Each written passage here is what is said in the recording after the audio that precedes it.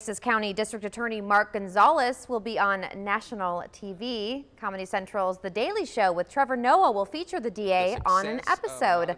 The DA's office says the episode will cover how Nueces County is working with Gonzalez on criminal justice everywhere. reform. Producers and crew were at the DA's office today to film. We, however, do not know when that episode will air.